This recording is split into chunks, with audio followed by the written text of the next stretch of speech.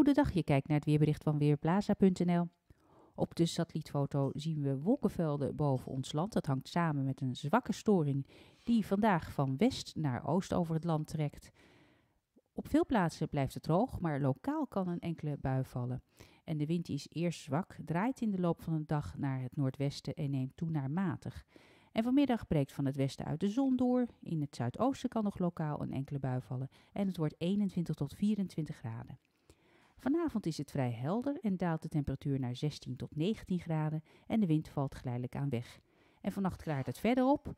En landinwaarts wordt het koud met 8 graden en lokaal ontstaan mistbanken. Die zijn morgen snel verdwenen en morgen is het grotendeels droog, maar in de loop van de dag neemt de bewolking toe.